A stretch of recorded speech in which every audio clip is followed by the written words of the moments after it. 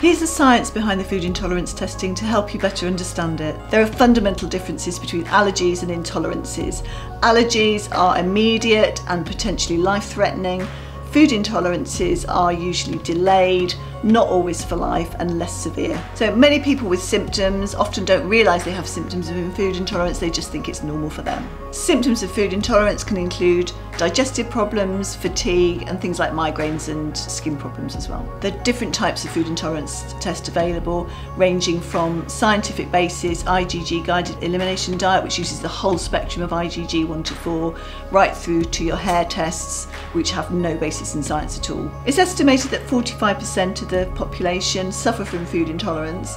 Many people don't realise they've got a food intolerance. They may be suffering from tiredness or low mood or things that they think are normal for them. That's why it's really beneficial for people to take a food intolerance test and use a program that can help change their diet and, and their symptoms. Testing the spectrum of all four subtypes of IgG are really, really important. By only testing the IgG4, you're only testing 1 to 4% of the actual range of subtypes available. And also, you're not testing the subtypes that are directly linked with inflammation. As a result of taking one of our food intolerance programs, many people feel that their symptoms are reduced and feel better, and that's why it's so beneficial to come and take a test. It's a really simple process. You get your blood collection kit in the post, you take your finger prick of blood, you post the sample back to our laboratory, tested by qualified technicians, results back out to you, fully supported with our nutritional therapist and our customer care team as well.